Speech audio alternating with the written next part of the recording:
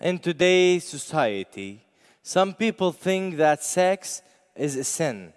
And even after they marry and go through the transition phase where sex is now blessed by God, they feel that they are sinning when they have sex, which is completely contrary to the church teachings.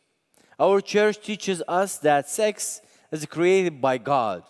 God created humanity from the beginning, male and female, with different body structures, indicating that we are sexual beings.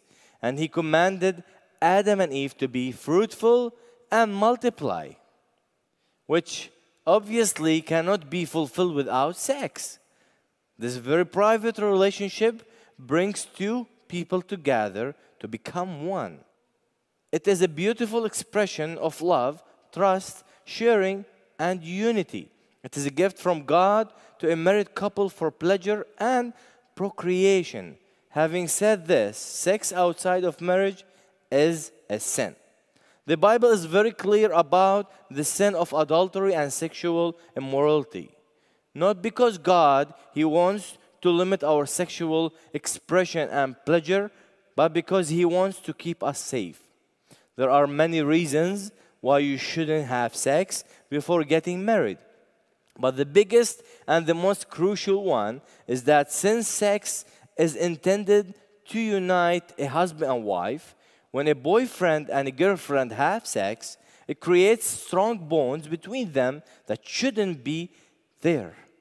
This is risky because dating gives you the chance to find out whether the other person is compatible with you and if for some reason you find out along the way that your relationship won't work out it will be difficult to break up with them because premarital sex created this strong bond that is meant to be created with the right person only and will make breaking up with them very, very difficult.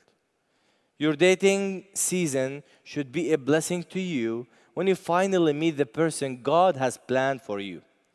When you engage in premarital sex, you will infect this season with guilt and shame, and you will miss God's blessings. If you want to enjoy the long term rewards of following God, you will need to make some short term sacrifices, but in the end, you will have a house that God Himself has built and blessed.